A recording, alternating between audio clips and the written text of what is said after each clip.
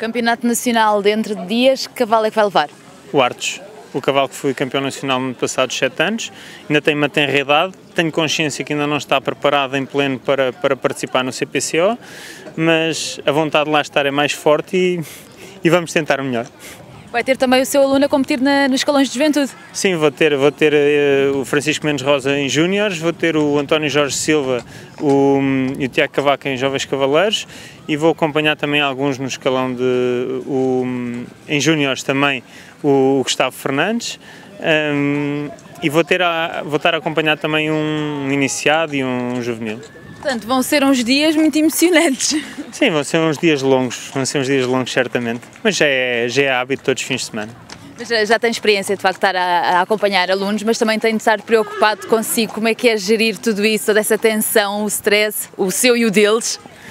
Temos que nos esquecer desse stress e temos que tentar estar lá da, da melhor forma, com mais concentração possível, para que consigamos, naqueles casos momentos, quando entramos dentro de pista, consigamos estar no nosso melhor e estar uh, em pleno, quer nós, quer a nossa montada.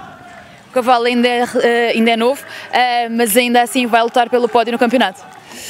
Uh, não gosto de expectativas altas, vou, vou tentar fazer o melhor dia a dia, prova a prova, e depois logo veremos o que conseguimos.